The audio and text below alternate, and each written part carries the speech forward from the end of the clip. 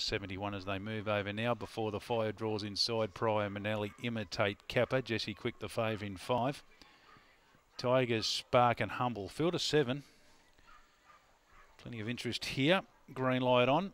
Favourite in five Jesse Quick. Rome Ferns with a strong hand hitting Humble. Number eight. Green light on. Set racing before the fire are slow again. Tiger Spark begins well with Kappa. They set it up. Jesse Quick's trying to get through before the fire. Hemmed up in traffic the inside. Humble got a check down the side of the course from Prime Manelli and imitate. But Tiger Spark, the one who broke clear before the turn. Jesse Quick's going to the insides. Coming hard. Big time baby. Missed. Tiger Spark just held Jesse Quick in the drive to the line before the fires in a photo for third with Kappa.